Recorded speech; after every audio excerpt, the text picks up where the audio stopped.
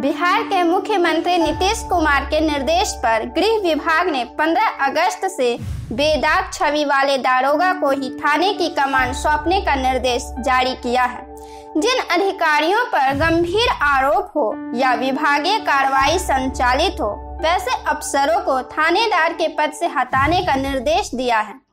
गृह विभाग ने अपने निर्देश में यह साफ़ कर दिया है कि किसी भी मामले के आरोपी को थानेदार नहीं बनाया जाएगा। गौरतलब है कि बिहार में 1075 थाने तथा 225 ओपी हैं, जबकि बिहार में लगभग 1400 इंस्पेक्टर एवं नब्बे सौ दारोगा हैं। बिहार में थानाध्यक्ष के अलावे दो अपर थानाध्यक्ष को मिलाकर लगभग 3500 इंस्पेक्टर और सब इंस्पेक्टर चाहिए वर्तमान में इंस्पेक्टर तथा दारोगा की जितनी तादाद है उसमें लगभग 15-20 प्रतिशत अफसर कहीं न कहीं दागी हैं और उन पर कोई न कोई आरोप की जाँच चल रही है आपको बता दें कि बिहार में अभी बड़ी तादाद में ऐसे थानेदार हैं जिनके ऊपर गंभीर आरोप हैं तथा विभागीय कार्रवाई चल रही है। फिर भी अपनी सेटिंग के कारण से पसंद वाले थाने में थानेदार के पद पर पद स्थापित है।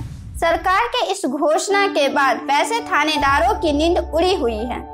अगर यह वीडियो आपको पसंद आया हो तो हमारे YouTube चैनल बिहारी न्यूज़ को सब्सक्राइब करें एवं बेल आइकन दबाना न भूलें। अगर यही वीडियो आप हमारे पेज फेसबुक पेज पर देख रहे हैं, अगर यही वीडियो आप हमारे फेसबुक पेज पर देख रहे हैं तो लाइक करें एवं शेयर करें। धन्यवाद।